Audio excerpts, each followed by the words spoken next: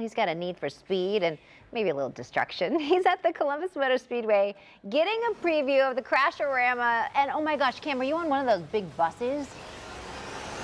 So we are on the inside of a bus right now, Karen. Now, parents and kids watching, we do not recommend doing this when you're on a school bus, right, Chuck? No, you don't want to really be standing up like this on a school bus. Probably Right. not too good. But so what event is this during Crash-A-Rama? This is part of the school bus figure eight race.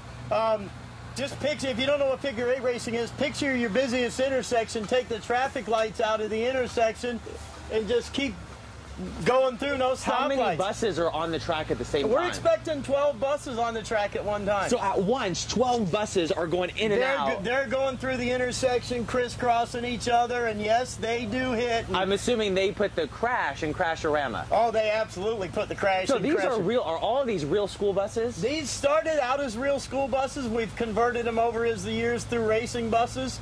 Um, but yeah, this one actually is a race bus that we're going to have kids. We're going to give kids free rides in No this way. particular bus. so when Saturday can they night. come out to ride this? Uh, I think it's going to start right at about 5:30. Okay. And we'll have two real race buses. And we're going to actually, we say kids, but that's from zero to 100. Right. Anybody that We're wants one, we're going to give you rides in a real race bus on the figure eight course. So this one right here is one. But how about we see what this thing will do a little bit? Let's do it. We're gonna go, and coming up next, I'm gonna get in the driver's seat, and we're gonna see if we can get pretty close. Not crashing all the way because we have to keep Edwin safe. So more's coming up on Good Day Columbus.